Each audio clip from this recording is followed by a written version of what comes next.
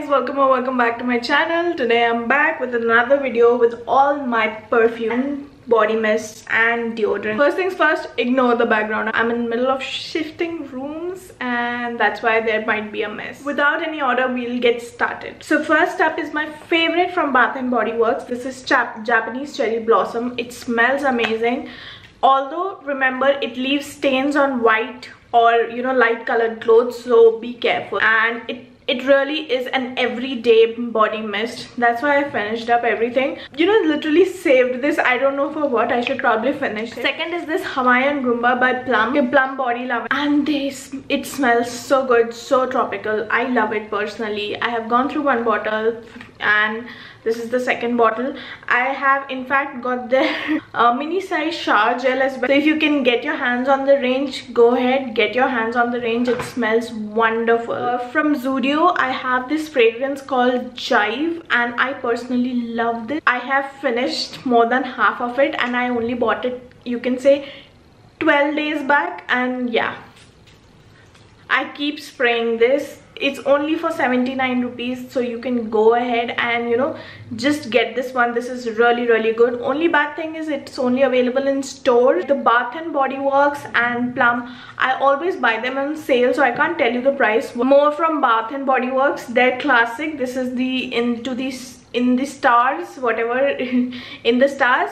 Uh these are very cult favorite i would say. Not, not cult they are really favorite like a mass favorite. I did not gravitate towards them.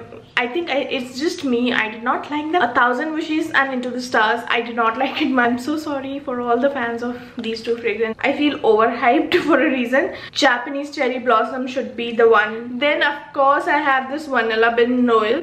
Um there is no cap it's again from bath and body works. It smells really nice. Uh, however i'm not a big fan of such a sweet vanilla fragrance. Next up i have the one which i kind of really love. This is you're the one. This is definitely an evening perfume mm, you know for evening. You don't wear it in day. And i've got the body moisturizer with it. While layering it they work really really really good. So yeah definitely get your hands on these two uh, or just this works wonders. The only i think semi high-end i have got it's not even high-end it's semi high-end this is the tommy girl.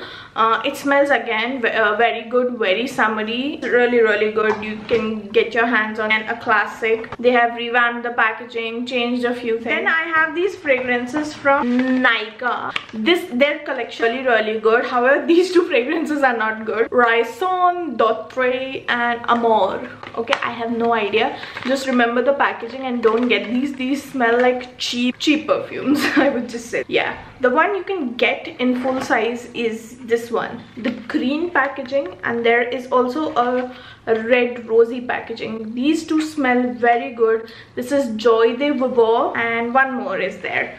Okay they smell really good. I have just got the you know mini size from zudio. I have got two perfumes. This is for women and this is for men. I don't know why do they do the segregation because perfumes are meant for everyone. Between these two my favorite is this one the manly one.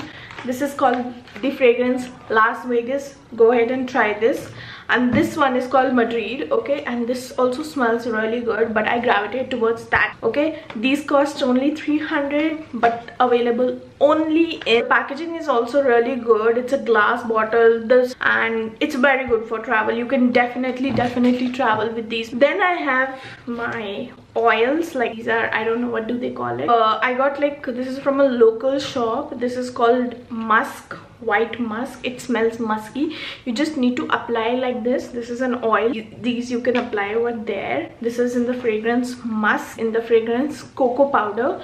It literally smells like chocolate. Yeah these two are amazing again. They last very long.